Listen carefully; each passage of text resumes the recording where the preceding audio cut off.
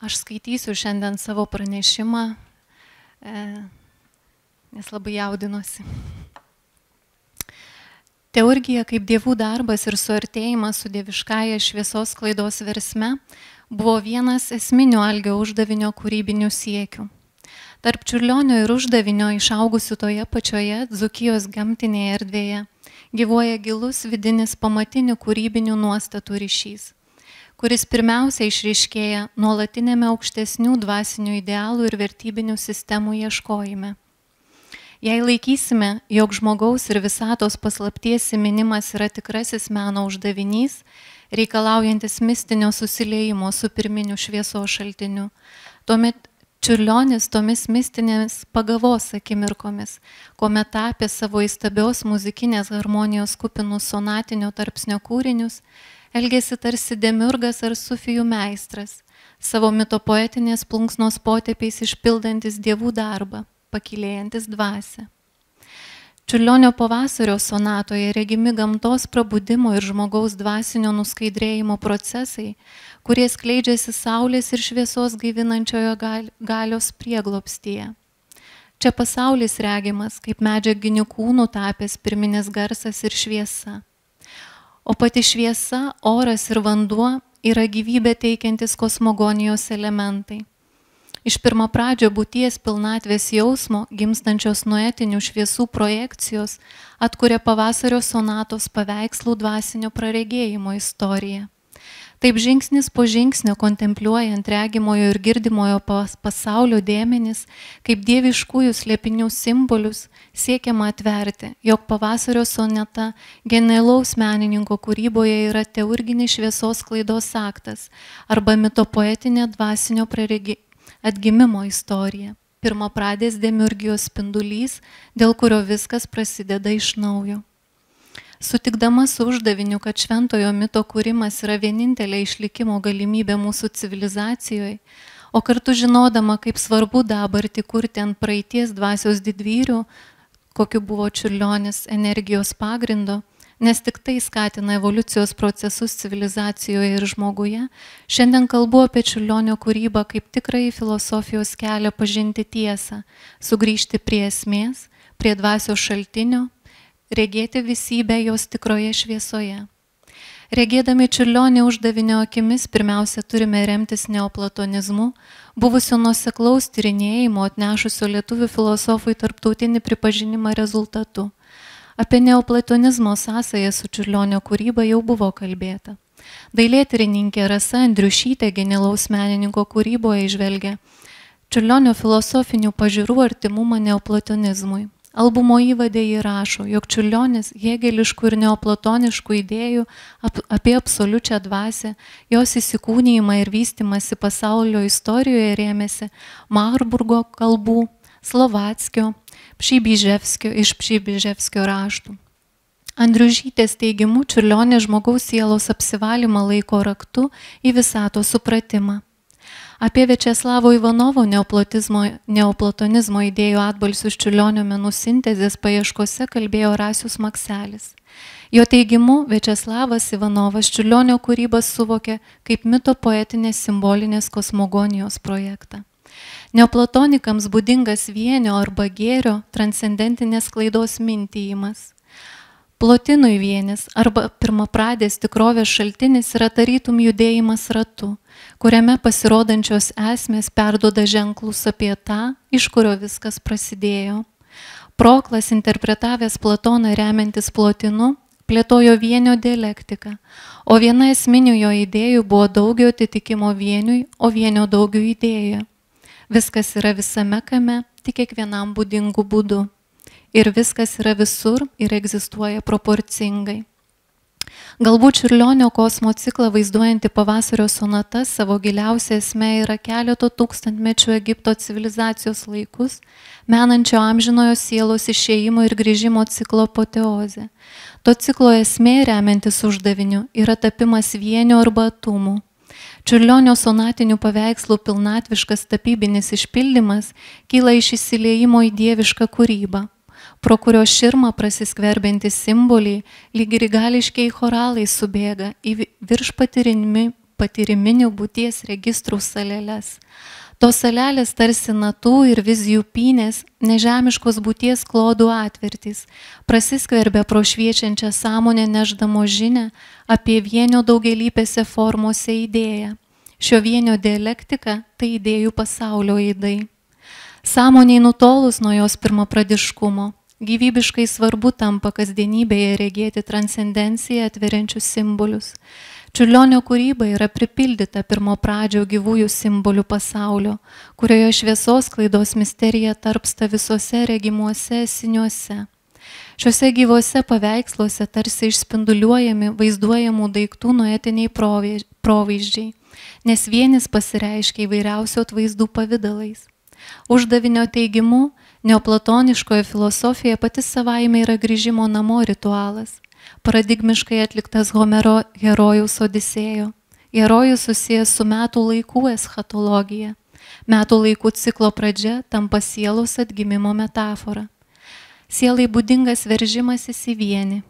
Pavasario sonatos paveikslai gali būti įvardinti kaip ritualinė, mitinė, teurginė sielos kelionė į vienį, kaip gėrio šaltinį. Remiantis neoplatoniškąją dialektiką, tai tampa įmanoma, kai įvyksta laipsniška išreikštų dalių integracija į vienį, į vieningą archetipinį šaltinį. Šis pasaulis, pasak uždavinio, yra gyvybė teikiančios ir skambančios noetinės šviesos, garso, kuris įgavo substanciškumą manifestaciją. Šventieji atvaizdai, kuriais laikomi metų laikai, kraštovaizdžiai, šventyklos, medžiai, gyvūnai ir žmonės kaip ir dievus įkūnijantis dirbiniai, yra vidinio dieviškos tikrovės buvimo nešėjai. Nagrinėdamas Platono kosminį teatrą, uždavinys pabrėžia, kad didysis visako simbolis yra metai. Metų laikai ir mėnesiai atskleidžia veikiančių dievų energijas arba skirtingus dievo veidus. Kartu tai yra kelias, kuriuo mitų herojai kyla į Olimpą. Tuo tarpu hermetinis atgimimas reiškia vidinį perėjimą į naująjį ontologinį lygmenį. Būti atgimusiam reiškia regėti daiktus kaip skaidrius archetipų atvaizdus. Vertinga pastanga vieno genijaus vizijas kito genijaus žodžiais atskleisti. Galima teikti, jog tiek čiurlionis, tiek uždavinys žengia aktyvių ir nekonformistinių, mistinių sielos patirčių atverties keliu. Simboliai jų kūryboje turi būti suvokiami ir atskleidžiami ne semiotikos metodais, bet greičiau kaip dvasinio kelio provaizdžiai, giliausių sielos patirčių gamtiškoje ir viršgamtiškoje būtyje versmė. Siekiant atverti čiurlionį uždavinio žvilgsnių, turime semtis metodologinėmis, remtis metodologinėmis filosofo nuostatomis. Uždavinio prieiga yra hermeneutinė apskritimą brėžiantis mozaikinis tyrimas, kurio kompozicija grindžiama metafizinė derme, netgi muzikinių tapybinių įvairių potėpių, motyvų, siužetų, problemų bei konstrukcijos elementų sąskambių. Taigi žinodama, jog uždaviniui buvo svarbus su konkrečia tradicija suaugęs intuityvus mitinis mąstymo sluoksnis, išsaugojęs glaudų ryšį su arhaiškais simboliais ir vaizdais, pranešimo autorė akcentuoja Šilionio pavasario sonatos kūriniuose mistinę būties bei mąstymo vienybę ir pilnatvę. Tačiau būdas, kaip šiame tyrimė bus brėžiamas hermeneutinis ratas, yra paremtas pirmapradžiais kosmogonijos elementais. Pagal uždavinio tyrinėtą Ramzių teologiją, šviesa, oras ir vanduo - tai trys elementai, per kuriuos pasaulyje pasireiškia gyvybė teikianti paslėptojo Dievo gale. Pavasario sonatoje judame hermeneutinį ratu pripildytų stichijų raiškos Šviesa ir vanduo yra pirminės substancijos, būdinančios ir atgaivinančios visą, kas gali atgyti. Oras juos apgaubė kaip dieviškasis intelektas naus. O žemė yra terpė, iš kurios visa, kas gyva, užgimsta.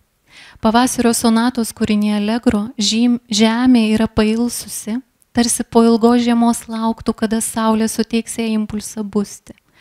Tamsa, kuri nuolat būdi greta šviesos čiulionio paveiksluose, uždavinio supratimu, būtų substancija, iš kurios gimsta visas regimasis kosmosas. Lyg kosminės iššios, iš kurių minties grūdas pasėjamas, yra įgyję astralinės bei fizinės formas. Kita svarbi Allegro paveikslė užkoduota simbolika - išskaidytas kraštovaizdis ir veržimosi nuojauta. Regimas suiręs pradmens klaidmenų kūnas, tai gyvybės štilis prieš kometos sprogimą. Be nesvarbiausias kosmogonijos elementas šviesa, čiurlionioje esanti vidinė dvasinių kelių žengiančioje savybė, o taip pat šviesa yra visatos pergalė prieš tamsą. Savo dienoraščiuose dar labai jaunas menininkas rašo, bet reikia turėti šviesą su savimi, iš savęs, kad šviestum tamsybėse visiems ant kelio stovintiems, kad jie išvykę patys rastų šviesos savyje ir eitų savo keliu.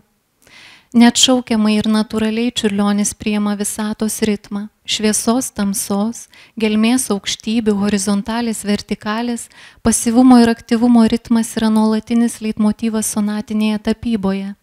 Šviesa prieš audrą ir po audro šviesa Taip nuo pasaulio pradžios, rašo Čiurlionis.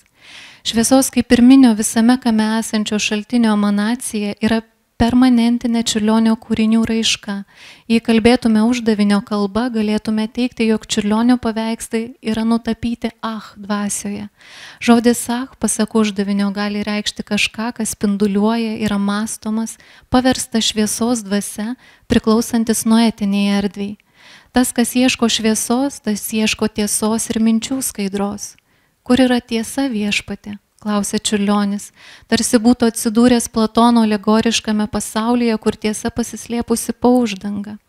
Galime nujausti, jog pats sielos, sielos siekis pasiekti kelionės tikslą yra kelias į šviesą, kur visa pasirodo pirmą pradėje šviesoje, o siela pažįsta save tikrąją. Simboliai yra raktai nuo daiktų esmės. Sudėtingi daiktų pavadinimai ir jų žemiškos formos labai nutolė nuo jų provaizdžių. Ir tik nedaugelis pakilėtojų menininkų, kokiais buvo Čiulionis, Nikolajus Rerichas, galbūt keletas kitų, galėjo matyti daiktus jų tikroje šviesoje. Sakralioji šviesų, spalvų, garsų kalba, kaip ribos tarp pasaulių raiška išsipildo tuo met, kai gavusi reikiamą formą idėja išnyra vaizduotėje ir yra įliejama į tapomą drobę ženklo ir simbolio pavydalais. Tuomet toji šviesos dalelė mumise, lik tikrųjų filosofų dvasia stiebėsi į pažinimą ir atsiduria nežemiško idėjų spindesio pagavoje Stebint čiurlionio sonatinės tapybos kūrinius, sąmonė pakilėjanti būsena ištinka, nes šviečianti, šviečianti žinia pasirodo už formų. Uždavinys nagrinėdamas neoplotonikus šviesiai teikia ypatingą reikšmę, tačiau tai, ką vadinama, vadiname auksiniu spindesiu, yra visa priepiančios suvokimo sąlygotas regėjimas dvasinėmis akimis. Pažvelgus į čiurlionio paveikslus rodosi, jog jie yra saulės apšviesti, palytėti šviesos dievybės auksinio spindesio. Todėl lyg auksos kraistėmis perdengti išnyra regėjimai keliais registrais. Atsidūrų žėrinčioje dykumoje mes gėrimės nežemiškais vaizdais, leisdami savo protui peržengti susikurtos realybės ribas. Nežengus šio žingsnio mums negalės atsiverti mitologinis suvokimo klodas, Todėl iš čiurlionio sauliškosios sąmonės klindanti kūrybos versmė esti ant realybės ir pasakos ribos. Sauliškoji sąmonė yra šviesos ir džiaugsmo emanacija, visa priepianti ir visur esanti. Saulės išspinduliuojama šviesa dovanoja žmogui galimybę stebint pasaulį susivokti. Saulės mirgėjime ir jos vaivorykštinėme spindesyje pasirodo visas esinių grožis. Ar kada stebėjote, kaip žyba ledas, skaičiai apšviestas saulės prieš pat įžengiant pavasariui. Regis dangus prieartėja ir apsijungia su žeme, kad bent akimirkai galėtume patirti visatos didybę ir grožį. Juk ir sielai būdingas vaivorykštinis spinduliavimas, lygiai toks, kokį regime siel, sa, saulės spinduliuose. Todėl pakėlęs akis į saulę ir visą, kas įgauna gyvybę dėka saulės, žmogus gali patirti esas dvasio šviesos pasaulių dalelę. Kodėl čiurlionio paveikslai tokie gyvi ir iškalbingi, klausiu aš. Pirmiausia, todėl, jo genialus menininkas savo paveiksluose atskleidė saulės kelionės sąlygotą gamtos cikliškumą, kaip ritmišką dangaus ir žemės šokį. Tačiau giliausia prasme tai yra cikliškas sielos kelionės, kaip jos įsikūnyjimo į materiją ir sielos grįžimo namo teurginis aktas. Šviesos pripildytas čiulionio finalė paveikslas yra mistinis duato iškelimas ir pagerbimas. Du bokštai lyg švituriai iškeliami virš pasaulio, nes pasauliui skirta būti po saulė ir skleistis įvairiomis gyvybės formomis josios spinduliuose. Stuksantis du bokštai lik saulės vartai sielos kelionėje ir jos virsme į Ach, spindulinga noetinė dvasia. Šis sauliškas virsmas iš Ba į Ach, iš sielos į dvasę, iš psiche į naus, simbolizuoja Osirio ir Horo, apsi, simbolizuojamas Osirio ir Horo apsikabinimu, numano mistinį pakilimą Osirio džet stulpu. Kalbant apie antrąjį kosmogonijos elementą orą arba oro stichiją, pasitelksime uždavinio cituojamą proklą. Proklas Platono Parmenido komentaruose teigia, jog savo nekintamą grįžtimį į mastomybę intelektas iš ankstinių būdų lemia judėjimą ratu. Ir ne tik intelektas, bet ir kiekviena siela savo šokiu aplink intelektą įsijungia į bekūnį judėjimą ratu. Savo noetinėje būtyje visi šaltiniai ir pradai sukasi. Jos įsuka dieviškasis kvepavimas. Kosmogoninė prasme oro stichija apreiškia save per kvepavimą kaip ir per dievišką intelektą. Čia verta išvesti paralelę su sufijų sukimosi ratu kaip mistiniu apsijungimu su Dievu ritualu, o taip pat su graikų mitologija. Sielos evoliucija vyksta cikliškai, tarytum spirale kylant dvasiniais laiptais aukštyn. Sukimasis ratu sufizme yra dieviškosios energijos išsklaidimas ir kartu suvokimas, kur pažvelgsi visur Dievo veidas. Orfėjos kelbiamas pirminis paslėptas Dievas buvo nepaliaujamai nešamas nesibaigiančių ratų. Uždavinio teigimu, ritualas ir kosminė tvarka, tarp jų ir metų laikų tvarka, ir logoso tvarka yra neatskiriami. Todėl kalbant apie kosminę tvarką kaip metų laikų kaitą užfiksuotą Čiulionio sonatinėje kūryboje, galime suvokti ritualinį viso to sukimosi arba ritimosi kosminėje erdvėje visatos kartu žmogaus sielos įkvėpimą ir iškvėpimą. Tai yra centrinė pavasario sonatos andantė paveikslo tema. Dievų šviesa arba iš vienio sklindanti šviesa turi galę įsukti stichijas į jų judėjimo ratų ciklą. Jamblicho žodžiais, dievų šviesą mėgdžiodamas sukasi ratu visas dangus ir visas pasaulis. Besisukantis ratai yra dieviškų būtybių raiškos vieta. Saulės švitėjimas reiškia ir ištarmę, ir garsą. Šis spinduliuojantis garsas uždavinio teigimu priverčia suktis metų ratą. Tai, kas išspinduliuojamas, skleidžiasi kaip tiesos audeklas, todėl pirmą pradė šviesa sukuria pasaulių foną ir ritmą. Vienis, kaip pirminė priežastis arba pirminis judintojas, suteikia judėjimą visiems daiktams, o judėjimas yra gyvybės ir gyvenimo simbolis. Vandens elementas yra išreikštas Čiulionio pavasario sonatos kerco paveiksle. Centrinėje paveikslo dalyje regime tris žuvis, Kairiojoje apatinėje dalyje, tarsi žyminčioje miesto sieną, saulės vartus, pro kuriuos praleidžiami pašviestieji, taip pat matome tinkle esančias tris angas sieną pusybę. Ir antrajame plane už tinklo plytinti artimųjų rytų architektūros kupilais, kupolais ir bokšteliais išpuoštą miestą. Kylant aukštint vienoje linijoje išdėstytus 12 taškų galima suvokti kaip paveikslė užkoduota sakralėje geometrija ir ar kaip natų sąsvinėje už, užrašytą skambesi. Esama 12 menulio mėnesių metuose, kur menulis yra moteriškosios visatos dalies hipostazė. Vandenį žmoguje išreiškia pasąmonės galės ir psichinės energijos kokybę.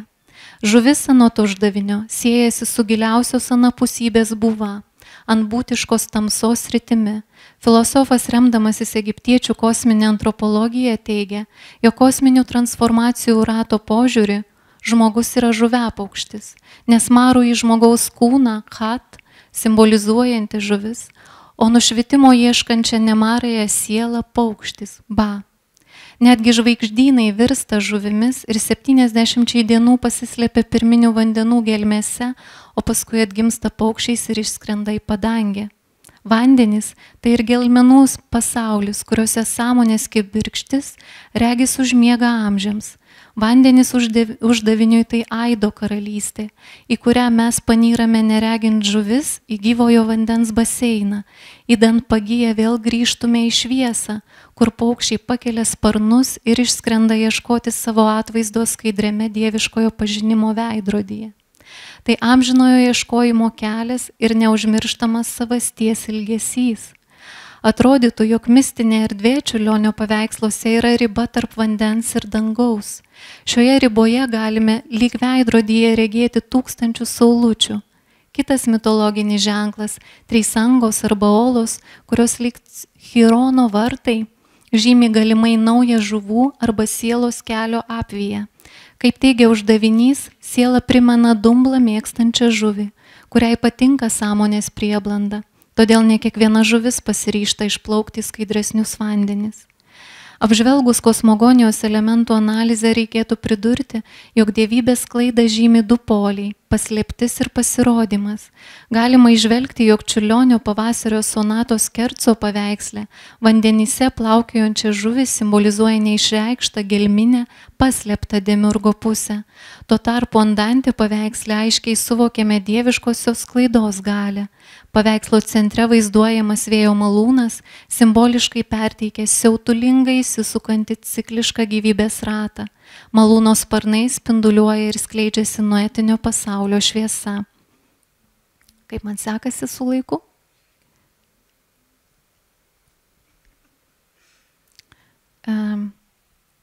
Jeigu turiu dar penkias minutės, tai tuomet tęsiu.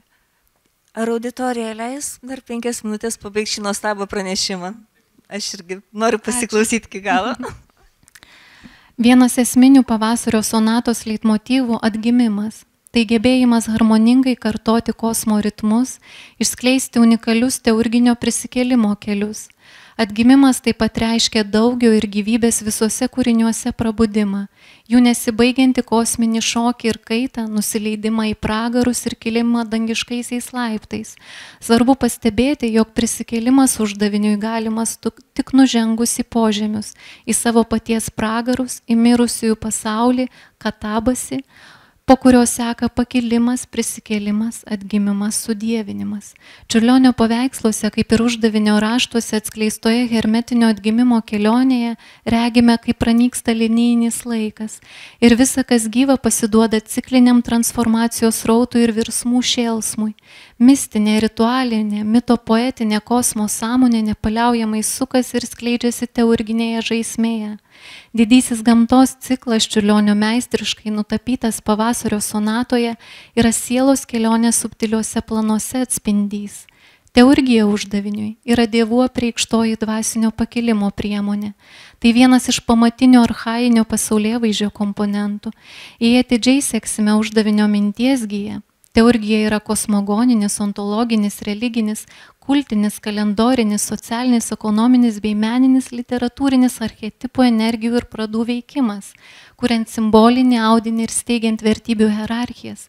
Todėl nesuklysime teikdami, jog uždavinys regėtų čiulionį kaip simbolinio kosmogoninio mitinio garso vaizdinio audeklo verpėją ir tikrąjį teurgą. Pasitelkdami čiulionio žodžio kūrybą suvokiame, kad jo būta gilaus mistiko, ieškojusio dvasinio kelio. Savo dienorašiuose čiulionis rašo, žmogaus dvasia yra pasaulio dvasia, žmogaus dvasia yra jo Dievo dalelė, viso žmonių dvasios yra vienas Dievas. Siela kyla iš vienio ir sugrįžta į tą pirmą pradį šaltinį. Šis grįžimas jaudino čiurlionio sielą, nes jį vis aplankydavo nuo pusybės nuojautos, vertikalių figūrų gausa menininko tapiniuose, medžio kamienai, laivo stiebai, bokštai, pilis, tulpai, remiantis uždaviniu išreiškia dvasinį principą ir prilyksta pasaulio sielai anima mundi. Sakralinės ašies bei vertikalės ženklų nužymėtas yra sielos kelias. Savo apsakymę Čiulionis rašo, žvalgykis nuo aukštų bokštų, tai kelią pajusi. Du bokštai arba stulpai esti centrinėmis figūromis pavasario sonatos finalė paveikslė. Čia galima išvelgti egiptiečių duatą kaip du skirtingus būties lygmenis. Galime išvysti tarp dviejų bokštų esančius neregimus saulės ar dievo ravartus. Žengų žingsnį giliau į Egipto šventą hieroglifų raštą. Ženklas džet reiškia stabilumą, o Sirijos tulpą - stuburą o kartu kosminė aksis mundi. Šios tulpo iškelimo ritualas buvo viena vertus siekis atstatyti kosminę tvarką, kita vertus jis simbolizavo išventinamojo atgimimą. Įremsime sufijų išmintimi, stulpai išreiškė pasaulį palaikantį ir gelbstinti logos. Šis save sukūręs pirmapradinis solarinis žodis logos tamsoje paskleidžia šviesą. Taigi stulpas uždavinio teigimu vaizduoja alcheminės transformacijos ir teurginio pakilimo, perėjimo per mirtį ir atgimimą kelią. Tai uždaviniui buvo filosofinis kelias, o čiurlioniui mistinis kurėjo kelias. Šia prasme čiurlionis yra sufijus, tapantis panardinta dievuje pasaulį. Todėl nesuklysime teikdami, jog čiurlionis yra amžinųjų slėpinių nešėjas. Siekti amžinųjų idėjų žinijos, to lygų keliauti namo. Kelias, kuriuo ėjo čiurlionis, buvo transcendentinio grožio raiškos ir kontempliacijos kelias. Dieviškoji tikrovė pasuko uždavinio, ta pati grožiui, todėl ir jo provaizdžių kontempliacija taip pat yra siela namo vedantis kelias. Grožio kaip gėrio idėjos kontempliacija padeda žmogui grįžti prie savo esmės, priartėti prie dieviškosios nuesis. Grožis besiskleidžiantis visuose kūriniuose turi teurginę, sielą pakilėjančią galę. Uždavinys tai aiškiai regėjo sufimijų mistinėje filosofijoje. Menai, teigia jis, nėra sufijų kelio tikslas, bet jie gali atverti dievišką į grožį džamal, kuris skleidžiasi visuose daiktuose ir turi teurginę galę. Sufizmui būdingas aukštesnis vidinis dvasinis grožis kartu yra susijęs su ypatinga žiūra ir todėl atveria gebėjimą meną išvysti dvasinėmis akimis. Tikrasis menas spinduliuoja tikrumą, tiesą, gėrį ir grožį. Jis skaidrus tarsi krištolas ir todėl žėri visomis vaivorykštės spalvomis.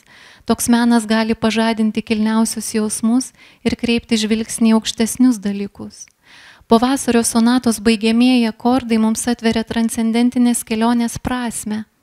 Finalė nutapyti debesis reiškia dievų buvimą, stulpai, šviesą skleidžiančią kosminę tvarką, o taip pat išventinamojo atgimimą. Įvairias spalvė juosta galėjo simbolizuoti dievų pasiuntinės ištarės atnešamą dievų žinę. Ji pasirodo po didžiojo potvinio ir simbolizuoja atnaujintą įtaką ir meilę tarp dievų ir žmonių, tuo būdu rekonstruodama filosofijos tiltą, jungianti dvi skirtingas ontologinės rytis, kaip aukojimo dūmų stulpus. Taigi galime išvelgti ir dar vieną paralelę. Du stulpai, kaip dieviškoji ir žmogiškoji prigimtis, turi apsijungti žengiant vaivorykštės tiltų į save tikrąjį. Būtina pridurti, jog filosofijos finalė arba filosofijos tikrasis tikslas uždaviniui yra kibirkštie žmoguje įžiebimas, kuris apieiginių teurginių virvių dėka pakelia sielą į dievišką kosmą. Norisi pasakyti, jog čiulionį žengia filosofo keliu. Jei filosofiją suprasime kaip būties pažinimą duotą tam, kad žmogus priartėtų prie Dievo. Tuomet teisinga būtų sakyti, kad čiulionis kontempliuoja dangų bei anapus dangaus esančią tikrovę, matoma kosmosą ir jo formas, provaizdžius viso to, kas yra šiame pasaulyje. Todėl paveikslas veriasi lyg visatos iškvėpimas. Galime klausti, kas čiulioniui buvo aukščiausias gėris, į kurį veržėsi siela. Ieškodami atsakymų tarp garso, vaizdo ir žodžio sąskambių, atrasime, jog siela veržėsi į begalę visatos saulių ir žvaigždučių kuriuos vainikuoja meilė. Atrasime, jog siela per vieškelius keliauja ieškodama tiesos kaip vienatinio šaltinio. Čiurlionis tikėjo, jog žmonės prisimena šaltinį, iš kurio jie kilę ir kalba, grįžkim prie mūsų vieno šaltinio. Taigi pavasario sonata yra prisotrinta transcendentinių, imanentinių dvasinio pakilimo patirčių, kur atgimimas ir susijungimas su pirma pradžių šaltiniu yra sielos telos Ir dabar visiškai apibendrinu. Čiurlionio sonatinė kūryba yra atvira, daugia lypiai dvasiniai hermeneutikai. Į simbolių kalba išreiškia sielos pakilimą ir misterijų kelią.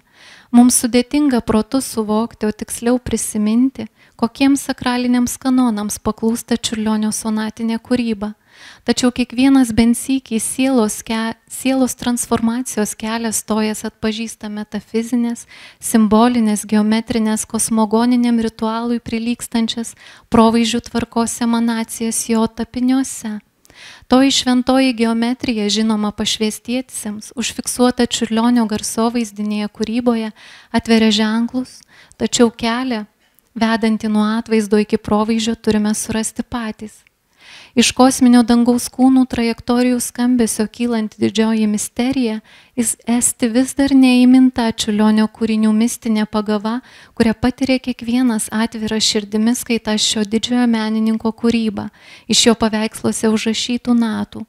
Sferų muzikos skambesio pripildytose sonatinės tapybos paveiksluose, tarytum plono auksinio audiklų užklotose penklinėse prabyla žvaigždės, saulutės, tulpai, vartai, medžiai ir žuvis, pasakojantis įstabę kosmogonijos ir teurgijos istoriją.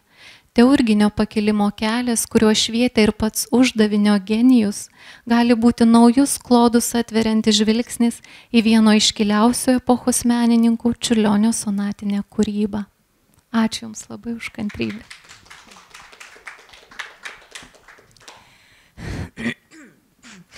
Ačiū Laurai už labai, labai originalų, labai įdomų pranešimą. Ir uh, noriu pastebėti, kad Na tai ir buvo įrodymas, koks yra produktyvus šis metodas skaityti Čirlionį vienu ar kitu autorium, vienu ar kitu disciplina, būdu. Ir tai yra begalinės, begalinės komparatyvistinės galimybės. Aš manau, jos maitins ne tik tas mūsų septynės konferencijas, bet ir bus dar kažkokie cikliniai ir necikliniai sumanimai. Ir šio metodo jeigu jį galima, aišku, taip vadinti. Potencialas yra tikrai labai didelis ir Laura tai, na, nuostabiai įrodė, tiesiog iš naujo perskaičiau uždavinį, teoriją skaičiau, uh, jo šitą knygą skaičiau du kartus, ten pribražyta, pribraukyta kas antrą eilutę, dabar trečią kartą perskaičiau, klausydamasi Lauros. Nuostabu. Yra klausimų iš auditorijos? Ta kosminė tvarka uh, labai įdomi E, e, vien dėl to, kad e, pasaulio kaip kosmosas, tai yra tvarka yra žmogiškas dalykas. Kosmosas neturi tvarkos. Tai mes užkraunam ant kosmoso specifinius rėmus, su, sukertuojam juos, kaip sakant, užtveriam ir kosmosas dinksta kaip kūrybiška eiga. E, kaip semiotika, viską į kvadratą sukrauna ir daugiau nieks nejuda. Ne? Tai tas tvarka, užtverimas, e, aš galvoju, sustabdo čiurlionio kūrybiškumą. Ačiū, Algi, e, bet aš galvoju, kad pirmiausia turi susikurti tam tikrą tvarką, iš kurios patiri pats harmoniją, o tik tada laisvinės iš to. Va toks kelias man, man pačiai yra vaisingas kelias. E, aš sutinku, kad tai yra pasirinktas kaip e, į gana įrėminantis, įrėminantis Šilionio kūryba būdas kalbėti. E, bet man, kaip ir jau minėjau, vieno genijaus žodžiais atverti, atverti kito kūrybą pasirodė be galo vertinga. Čia tik tai toks bandymas, bet jokių būdų ne, nesiekis apriboti čiulionį. Mhm. Ačiū.